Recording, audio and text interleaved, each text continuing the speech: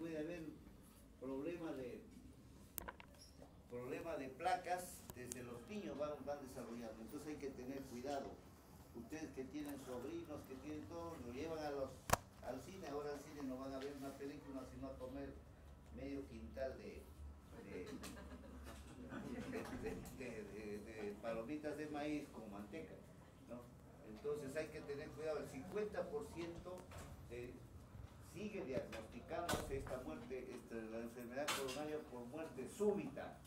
Quiere decir que no tenemos nosotros un control de esto. Y desgraciadamente entonces se hace un control porque el único control exigente que tendríamos es una coronariografía que se hace con un cateterismo que es caro. Pocos hospitales tenemos en Lima que tienen el arco en C para hacer cateterismo, porque ese equipo cuesta más de un millón de soles. Entonces pocos lo. Un examen después que sea mucho más cómodo. Ahí tienen los grandes responsables de la enfermedad coronaria. De la aorta ya, ya les dije que sale la arteria coronaria izquierda y la coronaria derecha.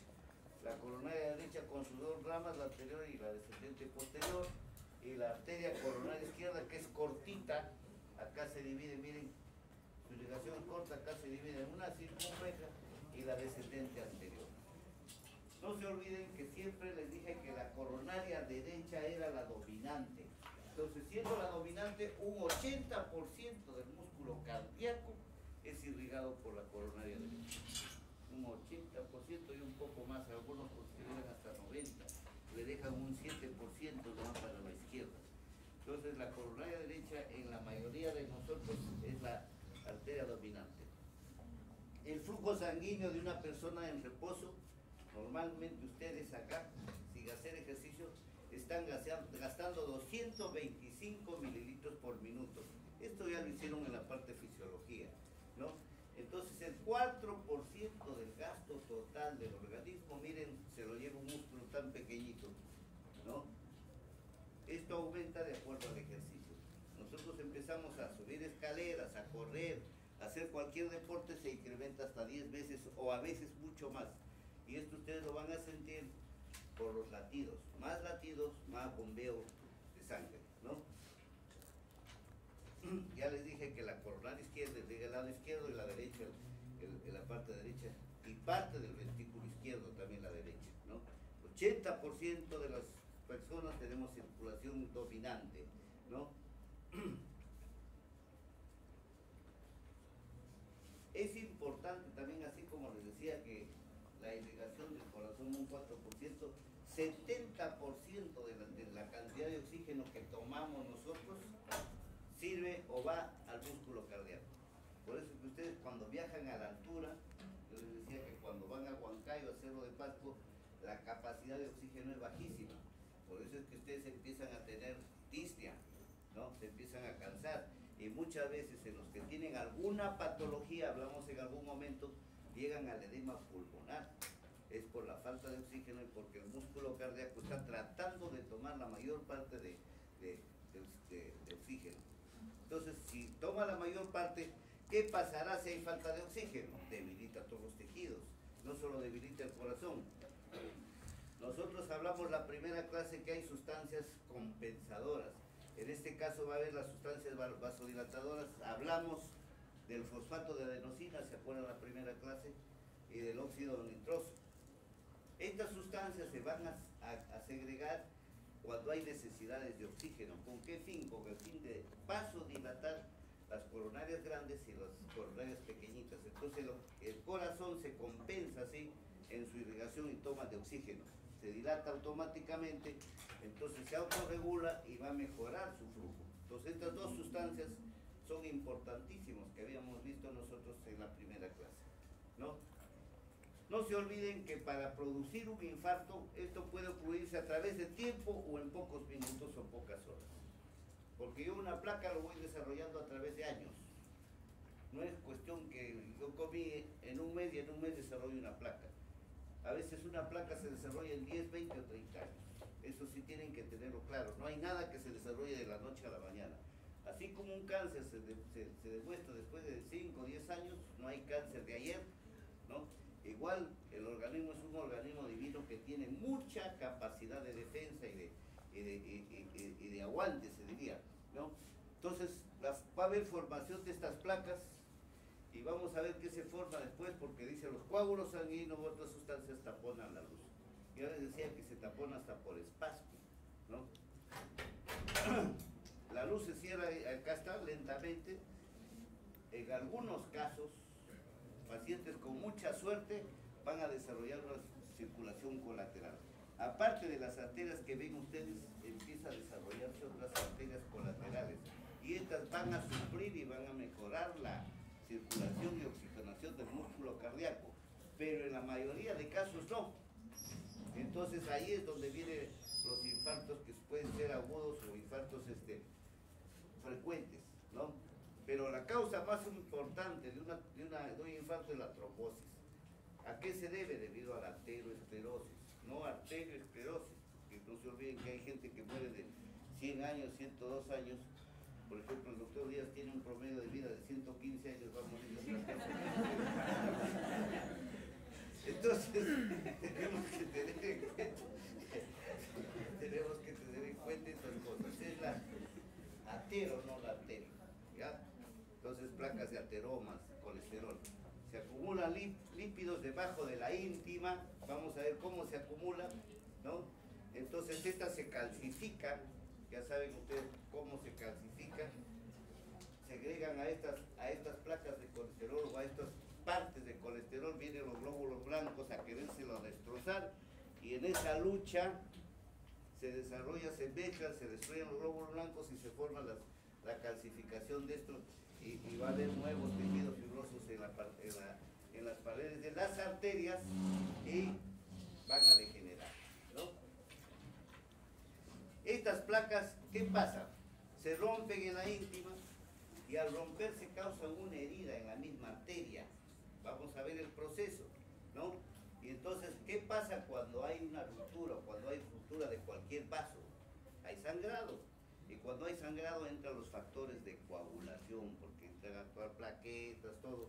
Entonces, estos se van a formar coágulos que van a construir ya en sí las, las- la- la- las luces de las arterias y acá es donde se provoca el infarto, ¿no? Otra vez se les decía que hay espasmos coronarios, ¿no?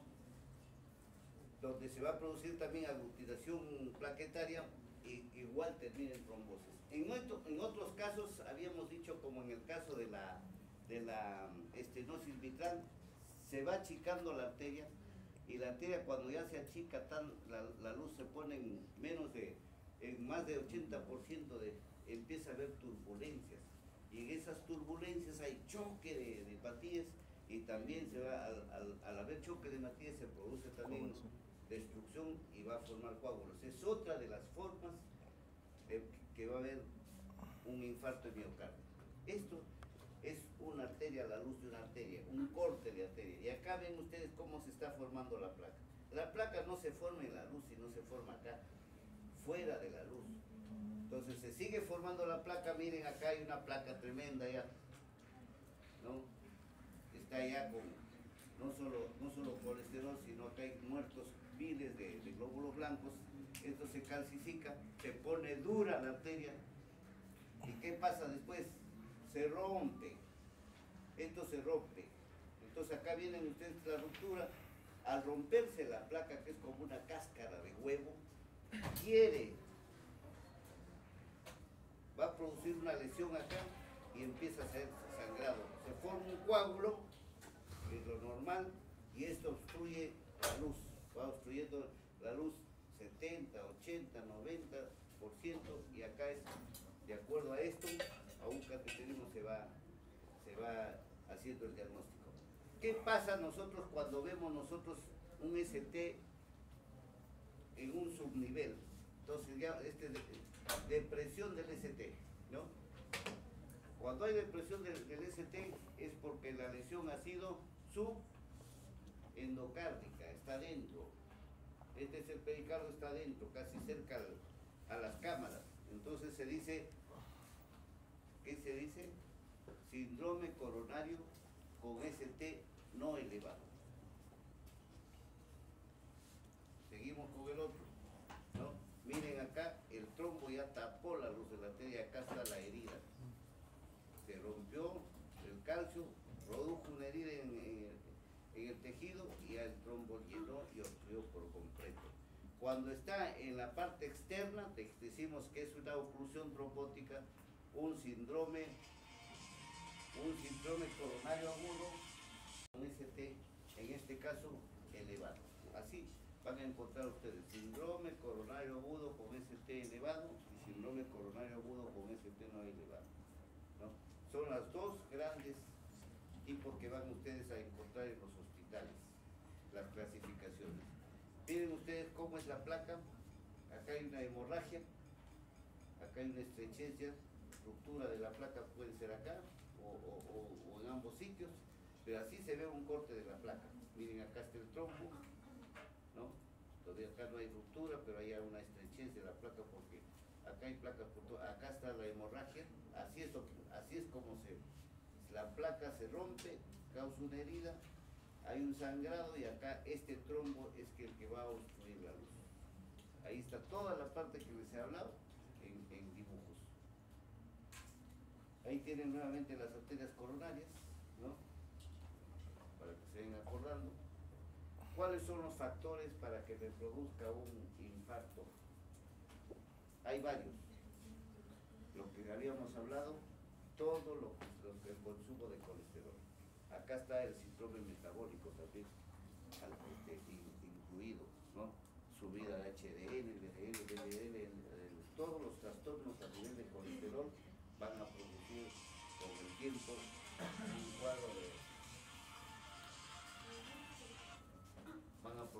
cuadro de infarto, la presión arterial no controlada, porque mientras ustedes tengan una presión arterial controlada no va a pasar nada. Y esto ya les habló la doctora Chumbiriza el tabaquismo. Felizmente acá creo que nadie fuma y eso ya está más que demostrado que el tabaquismo provocaba bastante cuadro de infarto. Tolerancia normal a la glucosa, los diabéticos, los diabéticos no controlados van no solo a la hipertensión arterial, sino van al infarto miocardio. ¿no? La gota también, cuando tengan un paciente gotoso tienen que controlarlo porque va también hacia el la menopausia y el uso de anticonceptivos. Felizmente el uso de anticonceptivos ahora está bien controlado.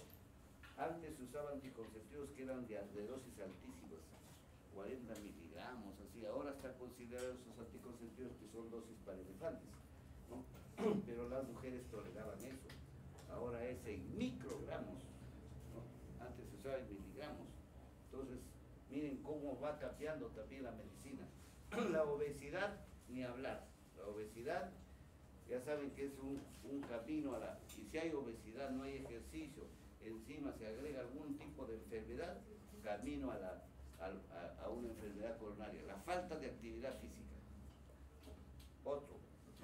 Felizmente ustedes hacen mucha actividad física, hoy día por lo menos han subido tres, tres pisos. Tipos de personalidad. Los tipos de personalidad también. Por ejemplo, yo tengo suerte que pese a estar al lado del doctor Díaz no me da un infarto. Entonces, hay que tener tipos de personalidad. Si ustedes están con una persona que les llama la atención todo el día, dos, tres horas continuas en el trabajo, pues están desarrollando ustedes un problema gravísimo. Entonces eso también hay que cambiar. Y esto lo van a ver ustedes, lo que les parece risa a ustedes. Ustedes van a tener pacientes que van a tener ciertas actividades y todo esto tienen que estudiarlo, para eso es la historia clínica. Entonces hay que cambiarlos de trabajo, ¿no? Muchas veces hay que cambiarles cuál es su tipo de trabajo, cuál es su tipo de vida, cuál es su tipo de, alimentación.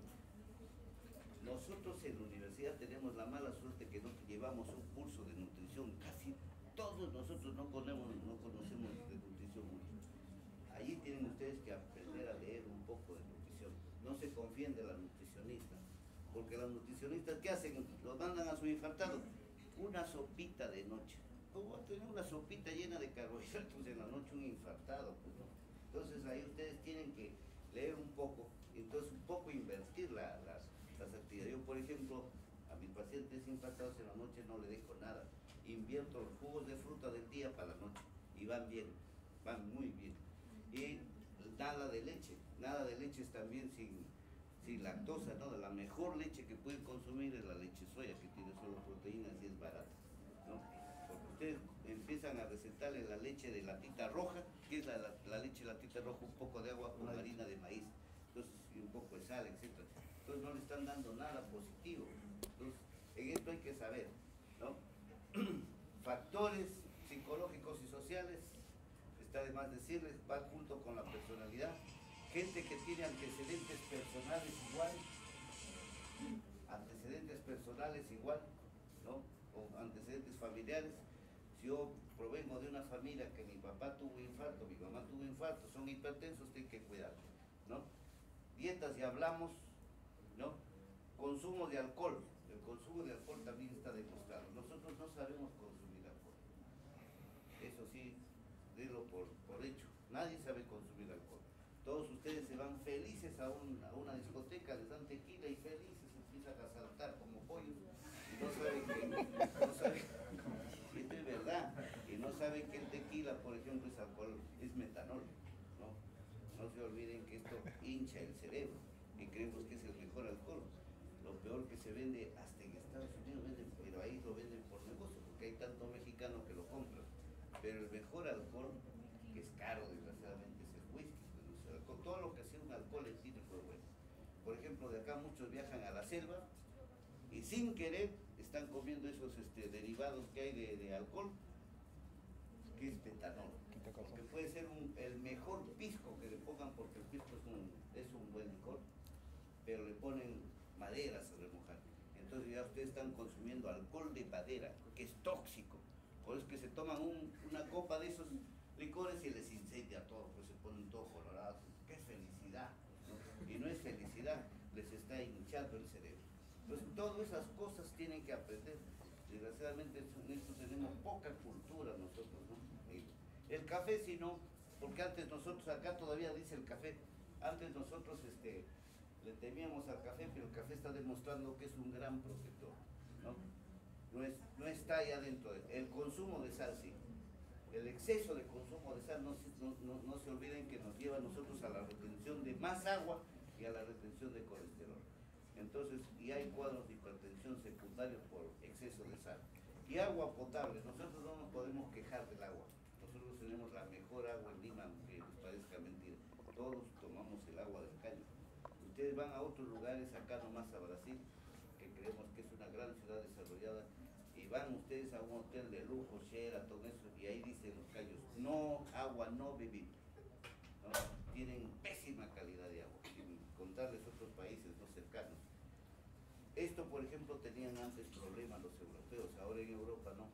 Los que vayan a Europa, creo que todos van a ir, porque alguna vez nos toca ir después con la profesión, ya pueden tomar el agua de cualquier caño, ha mejorado mucho todo. Antes en Londres se tomaba agua, Londres la ciudad que se tomaba, que había pasado por cinco urinarios el agua, y acá lo tomaban agua potable. Ahora han mejorado toda la, todo el agua de Europa se ha mejorado mucho.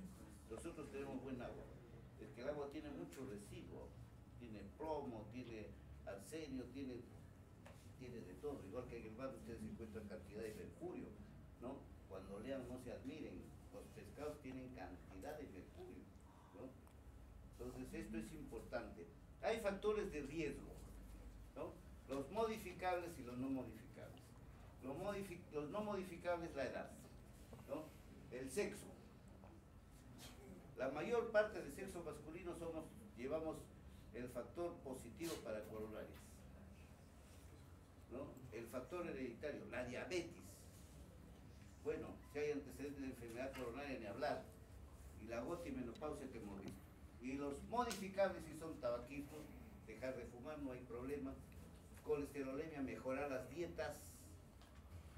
Consumimos poca verdura, hay países que consumen más verdura que nosotros, ¿no? Antes Japón, por ejemplo, era un consumidor de arroz. Los que han tenido la oportunidad de visitar Japón ya cambiaron su dieta. Ahora dan verdura, obligan a comer verdura a todos. Antes tenían ellos muchos cánceres por comer exceso de, de, harinas. Aparte de tener problemas coronarios, tenían problemas de, de cáncer de colon. Ya cambió su estadística de ese 20 totalmente porque ellos han ido cambiando su dieta. Trigliceridemia, obesidad, sedentarismo. hipertensión y dietas. Esto del sedentarismo también es importante, porque a veces les viene un paciente que ha estado enfermo y dice, doctor, si es varón, ¿no? o si es mujer, ¿puedo jugar un partido de fulbito? Entonces usted sí, puede jugar medio tiempo, pero no es verdad. Hay pacientes que nunca en su vida jugaron fulbito y justo después de enfermos quieren jugar un partido fulbito. Entonces hay que preguntarle al paciente, ¿usted antes jugaba no, doctor? ¿Por qué quiere jugar ahora que esté enfermo? Y eso nos va a pasar en muchos pacientes.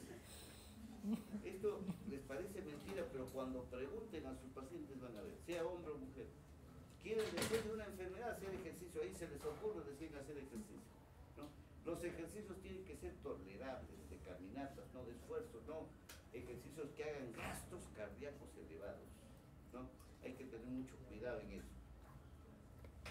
Esta es la tromboplastía cuando había un problema coronario, antes se ponía un un catéter y se aplastaba el colesterol y decíamos, ya se lo solucionó el problema. Ahora se ha demostrado que no, porque tres meses otra vez la placa vuelve a crecer. Solo se lo aplastaba la placa. Y muchas veces se lesionaba placa, ¿no? Ya esto ya no se usa. Ahora vamos a ver lo que. Entonces vamos a pasar nosotros a la enfermedad coronaria en sí. La enfermedad coronaria se divide en dos. Angina estable y la angina inestable. Dentro de la angina inestable está el infarto de miocardio agudo o cardiopatía isquémica y, el, síndrome de Prince-Metal. ¿Y qué es la angina estable? También se llama una angina crónica. Puede llamarse también angina de pecho crónica, angina de esfuerzo o espasmo crónico, como su nombre lo dice. ¿No? no existe preinfarto. A la angina antes se llamaba preinfarto, pero no hay diagnóstico de preinfarto. ¿no? Es una angina o preinfarto una angina inestable o preinfarto, pero no hay que, a mí me dijeron que tengo un preinfarto, te dijeron, no, sigues teniendo tu, angina inestable, ¿no? Así es que esto que quede claro, ¿ya? Porque uno dice, preinfarto, preinfarto no existe, se le llamaba antes a la angina inestable preinfarto, ya no se le llama ahora, ahora ya no se escucha, ¿no? Pero esto es para que tengan ustedes en cuenta los nombres, nada más. ¿no? ¿Y qué es angina estable? Es una angina que se presenta, o dolor precordial que se presenta cuando hay una isquemia, ¿no? que necesariamente está inducida por el ejercicio. Yo hago ejercicio y me da este dolor, ¿no? Entonces va a alterar mi función miocárdica. Muchas veces esta angina no va a presentar muerte del tejido, solo da una lesión o una isquemia, nada más. Los pacientes regresionan otra vez a su normal se presenta de los 30 a los 70 años, ¿no? Más o menos un 0,83% de mil habitantes, ¿no? Cada mil habitantes 0,83 se presenta.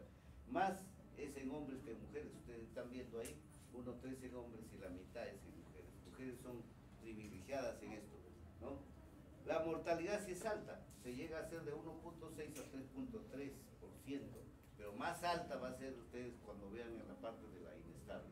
El principal hallazgo, ¿cuál es? En una angina estable, ¿no? La, la aterosclerosis epicárdica. Entonces acá vamos a ver que solo se lesiona la parte externa, ¿no? Cerca de 84 de los pacientes, 84% de estos pacientes van a tener una obstrucción de una arteria principal que va a comprometer más o menos más del 75% de la luz de la arteria.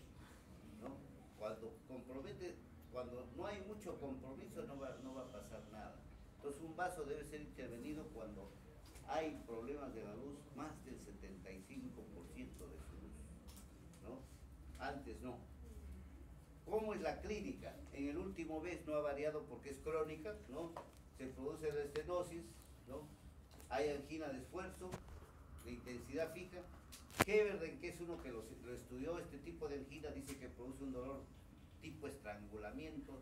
Yo les decía el otro día que hay gente que muere por infarto, no por el infarto que es chiquito o grande, sino por el tipo de dolor. El, tipo, el dolor es constrictivo, hay una opresión, puede haber relación a brazos, ¿no? hay que evaluar la calidad del dolor. En esto muchas veces se usa hasta morfina ustedes van a ver estos pacientes usamos la morfina casi comúnmente, ¿no? Hay que ver la localización del infarto por el electro, ¿no? La duración y qué factores lo desencadenan. Esto es importante, lo que les decía adelante. Si es, un, si, es un, si es el trabajo que tiene exagerado, hay que corregir eso. La irradiación y ver si hay efecto vasodilatador, porque siempre no ha cambiado. Hace 60, 80 años que se usa la nitroglicerina, que es un componente para hacer la dinamita, ¿no? Ha cambiado ese tratamiento, sigue igualito usándose la nitroglicerina. Antes se usaba en tabletas, ahora se usa hasta en ampollas la nitroglicerina, que tiene un buen efecto vasodilatador. Es el mejor que hay hasta ahora, no hay otro, ¿no? ¿Qué encontramos nosotros en la angina estable? Un alto porcentaje que tiene cuadros de hiperlipidemia o hiperglicemia. Pacientes que son malos consumidores de los productos para la diabetes. El electrocardiograma solo nos da un 40% de diagnóstico, no es tan preciso. ¿no? el examen enzimático no nos sirve mucho. ¿no? La prueba de esfuerzo sí, porque ustedes en una prueba de esfuerzo que se hace en bicicleta o en faja, se le hace hacer ejercicio y de acuerdo a los bits, y si rinde toda su frecuencia cardíaca, vamos a encontrar en el paciente elevación de la presión, alteraciones del ST o arritmias. Entonces eso más o menos nos va a dar un diagnóstico. La ecocardiografía sí es importante. Nos va a dar fibrosis del ventrículo izquierdo, nos va a dar falta de movimiento del septum, nos va a dar disfunción ventricular, un ventrículo que no se moviliza, que es un ventrículo comprometido, ¿no? Y los movimientos anormales que les decía del tabique, ¿no? Acá en este caso de una angina inestable es importantísimo hacer la coronariografía. Una coronariografía que se hace con contraste de yodo, es un cateterismo o la ventriculografía.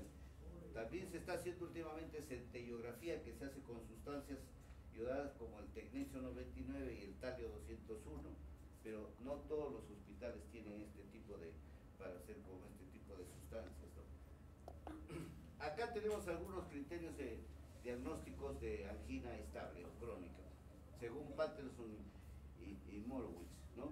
Aparición con ejercicio, lo mismo, duración de 1 a 15 minutos, ¿no? Comienza gradualmente, alcanza una intensidad en unos minutos antes de desaparecer, o sea que aparece y desaparece. Cede con el reposo, la ingesta de nitritos, ¿no? Se localiza subestructuralmente, por supuesto, se propaga la mandíbula tal como dice la teoría. Estos son más o menos los, los criterios diagnósticos de estos dos autores. Y hay que ver que no haya causas de dolor por otra causa, eso sí ya hicimos en, el examen de historia clínica. Hay, que descartar patología de cartílagos, patología ósea o, tumores de mama. A veces se nos pasa, largo, largo se nos pasa. Acá, este sería la otra angina. Las otras anginas, la inestable. ¿no? Miren, acá la, definición que nos da la angina inestable. Va desde la isquemia silente a la angina estable y hasta la muerte de del, paciente, el infarto de miocardio agudo. ¿no? Es de altísimo riesgo, siempre precede a un IMA o a muerte súbita. Orre lo define como un dolor que, es grave, precede a un infarto y lo llama el síndrome de oclusión coronaria inminente, porque acá con una angina inestable sí llega al infarto, llega a la oclusión total, ¿no? Esta angina se caracteriza porque es de reciente inicio, un mes que está fastidiándole el dolor ¿no? va creciendo el dolor eh, con esfuerzos mínimos, no necesita esfuerzos grandes, se superpone a una angina de reposo, hay complicación de una, puede tener el paciente una angina estable y se complica, ¿no? Y el dolor es intenso y no es de 1 a 15 minutos, sino el dolor es mucho más prolongado, dura hasta 45 minutos. Si está el paciente descansando, lo despierta al paciente. Entonces, esta es más o menos la definición de lo que es la angina inestable. ¿Cuáles son los criterios para decir que hay una angina inestable? Es una angina acelerada por un síntoma crónico en lo referente a la intensidad, duración más de 20 minutos, desencadenando por una, un cuadro isquémico, ¿no? O puede ser también una angina de reciente aparición, que es inducida por un mínimo de ejercicio, pero ya hay antecedentes de algo. ¿Qué antecedentes? Hipertensión, puede haber diabetes, puede haber síndrome, síndrome de obesidad, ¿no? Entonces, se presenta en reposo, ¿no? Y puede ser una angina después de haber presentado al paciente un infarto anterior mínimo, ¿no? Estos, son más o menos los criterios. Y la otra angina inestable que tenemos es la variante o de Prince Metal. Este es, fue descrita por Prince Metal, como su nombre lo dice en el 59, ¿no? Es un cuadro inusual de dolor torácico causado por una isquemia miocárdica que ocurre en reposo.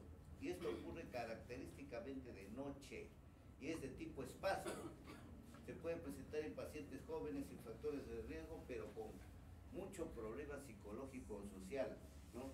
O, el paciente que tiene eventos sincopales. Es una angina de tipo vasoespástica o vasoespasmo coronario, no es por trombos, es por espasmo, ¿no? No es desencadenado por estrés ni por ejercicio y hay cambios en el ST del electrocardiograma, ¿no? También se conoce como angina variable, se asocia a infartos, ¿no? a arritmias cardíacas, taquicardia, fibrilación y muchas veces termina en muerte súbita, porque esta es una angina de tipo inestable. Y el otro ya es el, el, infarto propiamente dicho Lima, ¿no? Sigue siendo la primera causa de muerte. Desgraciadamente no lo prevenimos. Podemos entrar al siglo XXI y no tenemos modos de prevenir esto las edades que ataca entre 40 y 65 años, ¿no? Miren, en Estados Unidos hay más o menos un millón y medio, dos millones, ahora está calculado de casos por año, ¿no? Hay un infarto cada 20 segundos. Miren la cantidad, se compara Estados Unidos con la población que, que tenemos, ¿no? Y la mortalidad más o menos, ¿cuántos son? ¿No? Más o menos 10 mil por mes. Es altísimo, ¿no?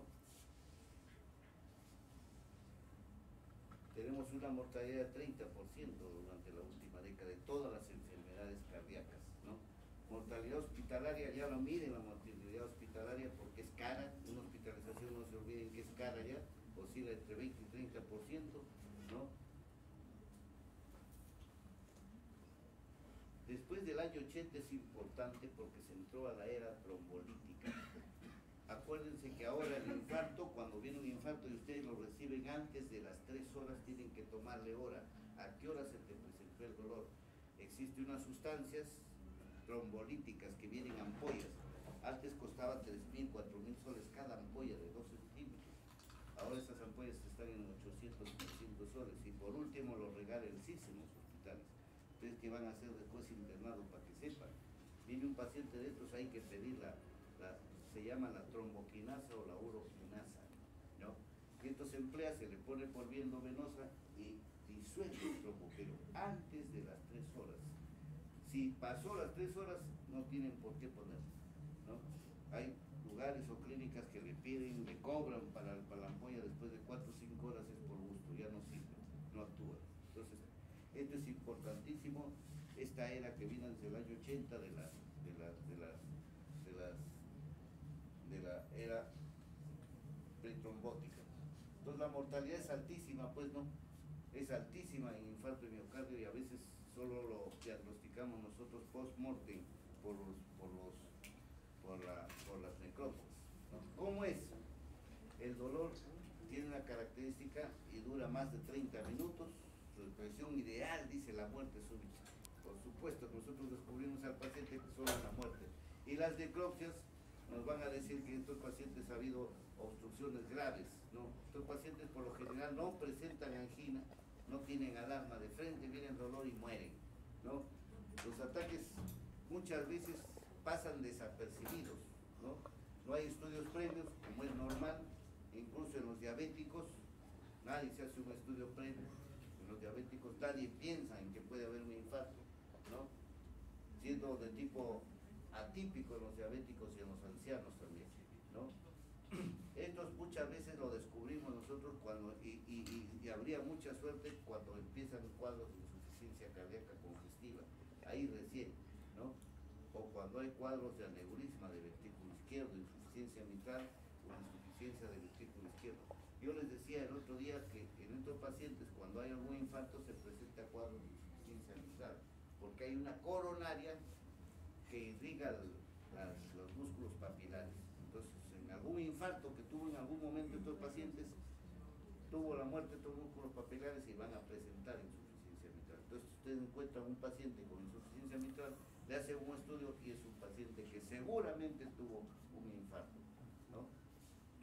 Acá hay una clasificación de Killing, que es diseñada para infartos de ventrículo izquierdo y tiene una, una importancia bastante buena en el pronóstico y en el tratamiento.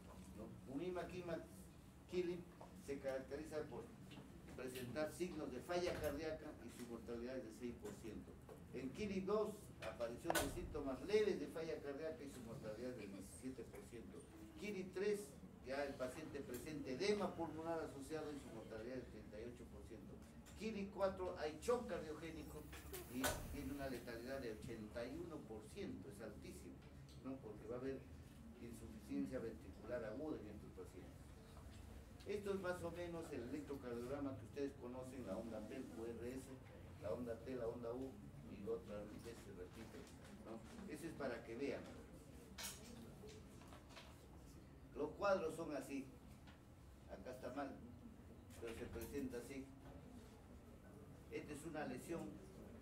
Cuando vean una T invertida, el paciente tiene lesión. Cuando vean el ST elevado o disminuido, tiene una isquemia.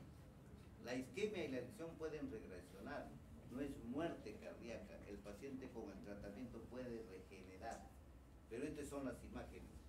Imagen de lesión y la imagen de isquemia. ST elevado o ST no elevado. Esa es la ventaja.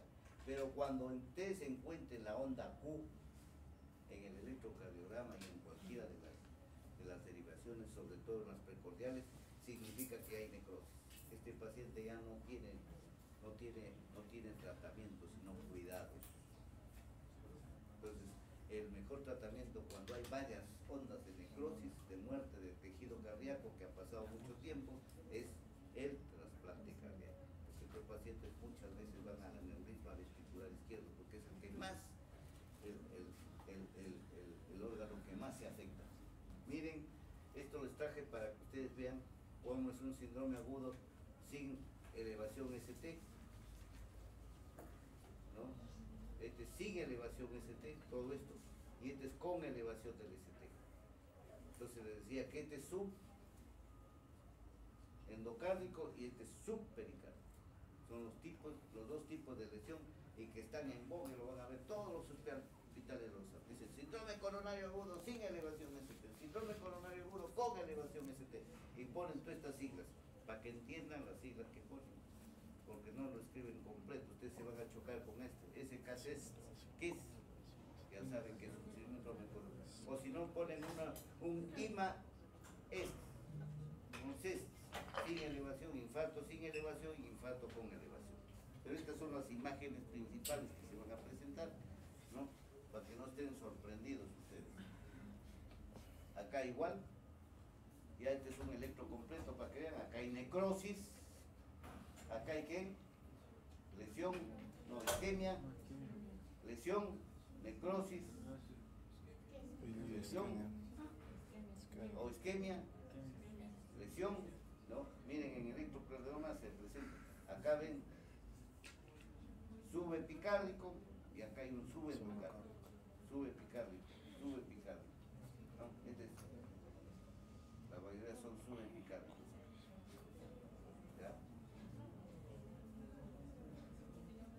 acá son subepicárdicos también, miren, sin elevación ST. Eso es lo que van a en el electro. Y esta es más o menos la localización anatómica que ustedes van a ver en, los, en, el electrocardiograma. Cuando ustedes encuentren lesiones en, acá en uno, en dos y en, y en tres, estamos refiriéndonos que la lesión es de tipo apical, infarto apical, ¿no? Acá cuando es en 2, en ABR, en ABL y en, es lateral, el infarto lateral. Cuando nosotros tenemos en 2, 3 y ABF, estamos hablando de infarto diafragmático o infarto inferior. Estas son las siglas que ustedes van a escuchar en todos lados. Y esto es infarto inferior o infarto diafragmático, 2, 3 y ABF. Infarto apical, ya ven, 2, 3, 1, 2 y 3. Central, B1, B2. ¿no? B3, B4,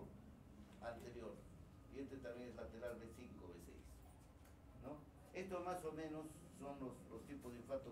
Cuando está todo esto comprometido, del B1 al B6, van a decirle cuando ahí se encuentran las ondas en todas las de B1, B2, B3, B4, B5 y 6, anterior extenso. Entonces estos más o menos son las siglas que se emplean todos los cardiólogos y en todos los hospitales acá y fuera del país. Esto es, un poco universal, ¿no? porque el electro no ha cambiado mayormente su, su, forma de ser.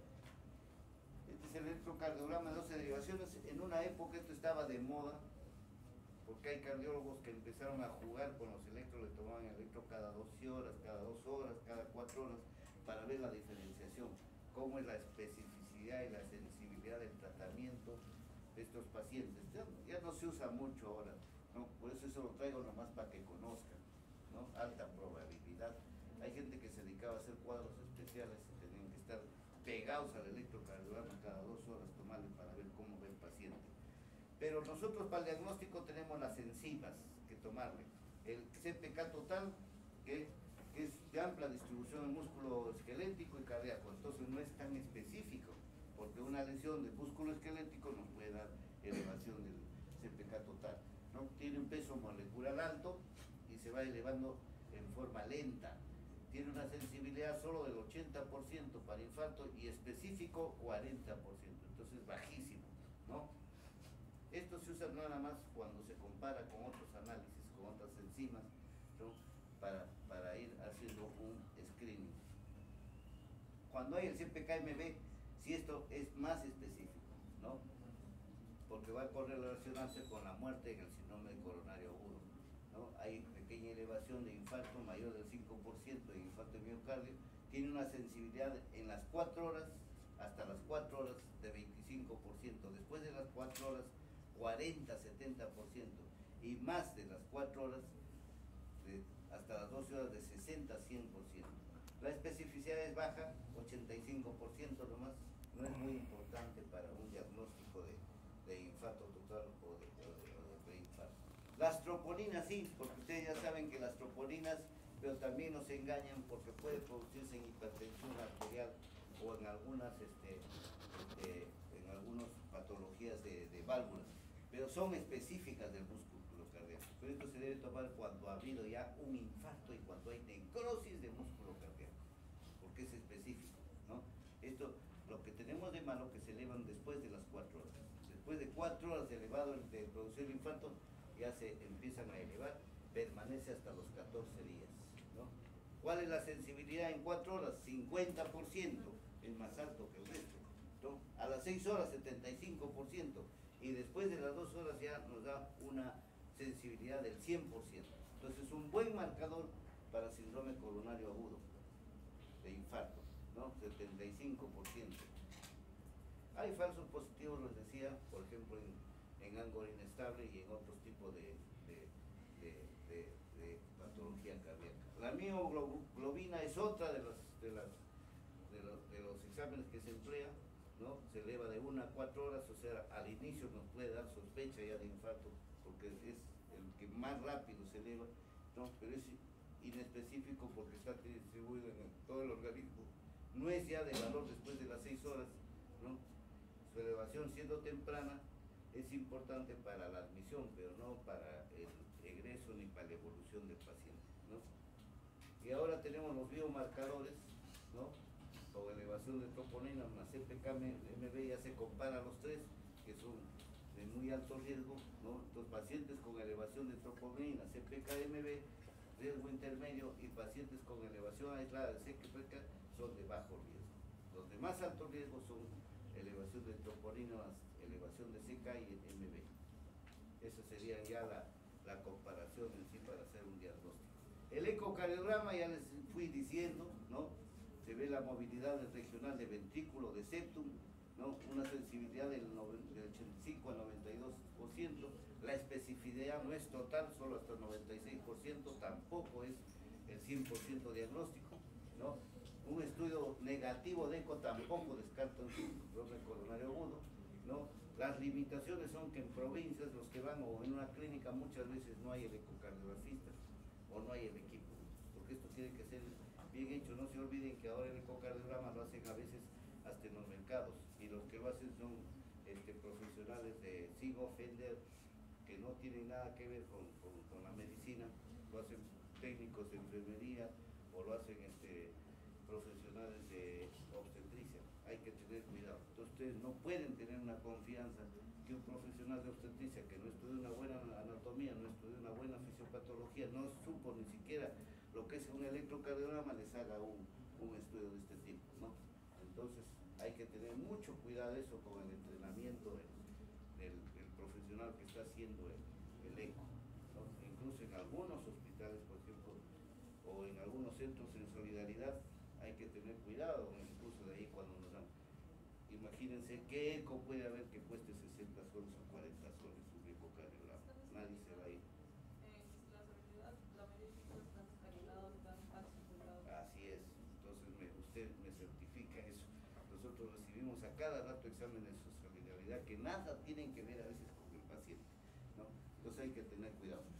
La prueba de esfuerzo, una prueba de bien hecha, sí, pero tiene sus indicaciones. Yo no le voy a hacer una prueba de esfuerzo a un paciente que recién llegue infartado. ¿no? Tiene que pasar mínimo tres días, ver las condiciones clínicas como están para hacerle su, su, test de esfuerzo.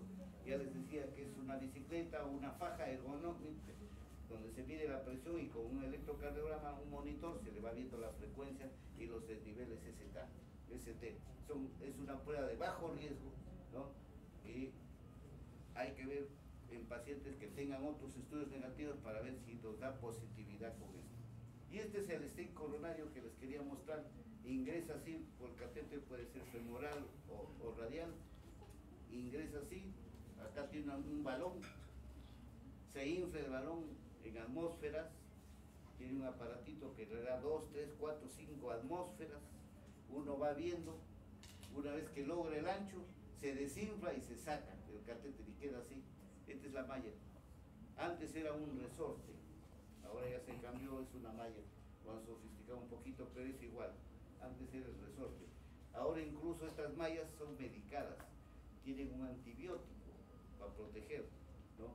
Tienen un antibiótico que tiene para largo una disolución lenta, puede durar meses este antibiótico en proteger acá, porque no se olviden que acá se produce una lesión y esa lesión puede desencadenar un problema infeccioso, es una vena o una arteria. Eso es o menos, y este es el bypass aorto coronario. El bypass aorto coronario, de la coronaria se, se extrae la, una vena, puede ser una vena de la pierna, una vena del brazo, se le saca al paciente y se cose en la parte distal del, del trombo, ¿no? pero la vena no va directamente. Se saca la vena y la vena se hace como los que se hacen embutidos, se voltea porque no se olviden que las venas tienen válvulas. Si ustedes ponen una vena igualito, no, no pasa la sangre. Entonces la vena hay que voltearlo. ¿no? Pero más fácil, algunos hacen con la arteria mamaria. La arteria mamaria se desconecta y se va directamente a la lesión.